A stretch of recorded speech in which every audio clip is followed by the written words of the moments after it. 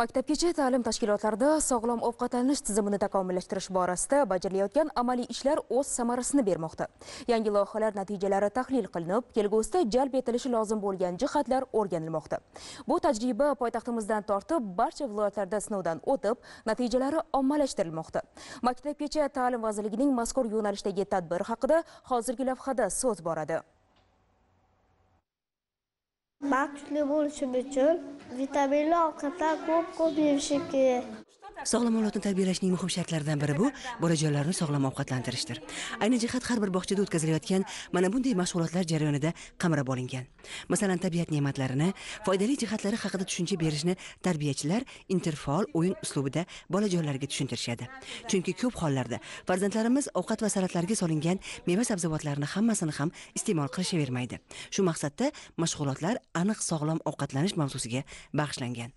Meva va sabzavotlar bizaga judayam foydali va kerakli mahsulotlar hisoblanadi Vazirlar Mahkamasining davlat maktabgacha ta'lim tashkilotlarida sog'lom ovqatlantirishni yanada takomillashtirish to'g'risidagi 407-qaroriga asosan e, bolalarimizni yana ham yaxshiroq ovqatlantirish, sog'lom oziq-ovqatlar bilan ta'minlash borasidagi ishlar hammasi vazifasi hamshiraga yuklatilgan. Biz bolalarimizni to'rt mahal ovqatlantiramiz. Ovqatlarimiz 10 kunlik taxminiy menyu asosida beriladi. Buni o'zgartirish kiritishimiz mumkin va hech qachon 10 kunni ichida bitta salatimiz ikkinchi marta takrorlanmaydi. Ovqatlarimiz ham ikkinchi marotaba takrorlanmaydi. Xilma-xillikka e'tibor beramiz. Hozirda bog'chalarning nafaqat binolari zamonaviy bo'lishi kerak, balki ta'lim sifati va ularni sog'lom ovqatlantirish tizimi ham zamon talabiga mos bo'lishi lozim. Shu maqsadda qilinayotgan ishlar ko'lami kundan kunga kengaymoqda.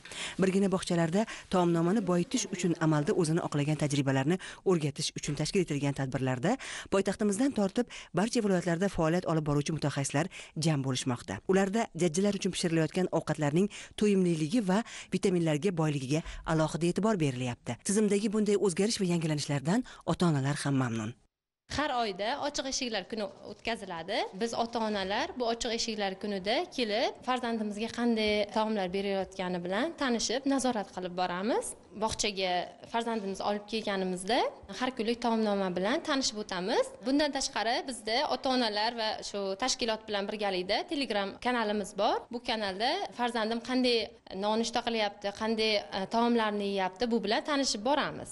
Yana bir e'tiborli jihat Maktabgacha ta'lim vazirligi tomonidan aqlvoy oshpaz bog'chalar uchun taomlar retsepti to'plami tayyorlangan bo'lib, undan foydalangan holda tuzilgan yagona namunaviy mavsumiy taomlar asosida ovqatlarni tayyorlash yo'lga qo'yilyapti. Bu esa o'z o'rnida bog'chalarda bolajonlar e'tiboriga haftalik menyuda 30 turdagi taomlarni taqdim etish imkoniyatini yaratdi.